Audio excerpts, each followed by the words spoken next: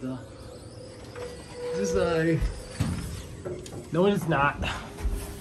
This is the elevator at the Residence Inn in Holland, Michigan. This is a second generation Residence Inn.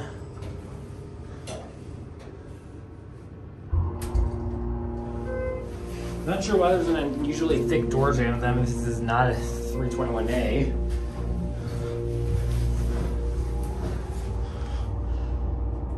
Elevators in Michigan once got busted here. Oh wait, I don't think I should have said that. It's too late now. Hmm. I think that was a really quiet inside chime.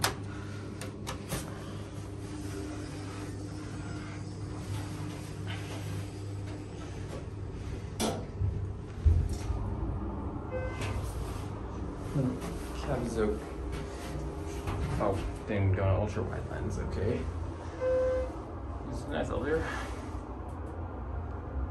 You can, s- it's like a zero three. It's up.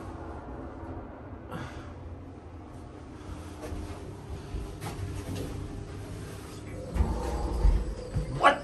Okay, that was really that first one. That's it.